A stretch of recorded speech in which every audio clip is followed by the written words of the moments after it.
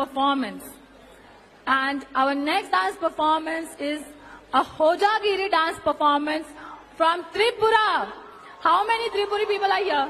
People from Tripura. Okay, so this is called Hojagiri dance and this type of dance is done during the Durga Puja festival of Hojagiri which falls on the third day of Dashera. Hojagiri dance is one of the famous dances of Tripura. The dance is performed by only women of about 4 to 6 members in a team.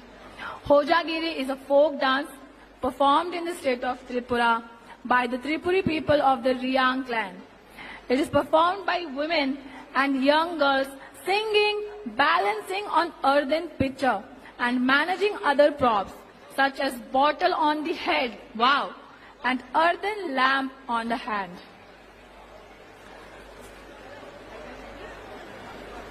Okay, so this is going to be an incredible performance and slightly, I think they, there's, there's, I can see some fire here.